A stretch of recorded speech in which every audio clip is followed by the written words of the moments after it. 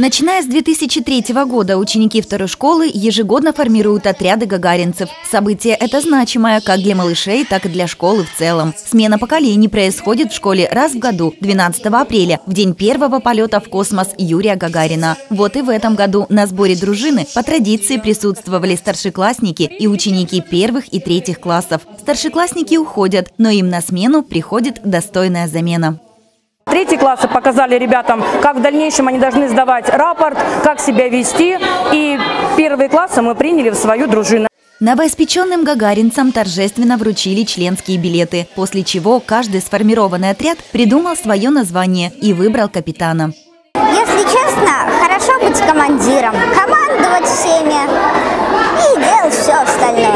На мероприятии ребята не только получили новые знания о космосе и первом космонавте, но и спели много патриотических песен. Быть частью большого проекта и с гордостью нести почетное звание гагаринца научили на этом празднике всех малышей. Виолетта Ефименко, Юлия Соболева, Светлана Разганова, Десна ТВ.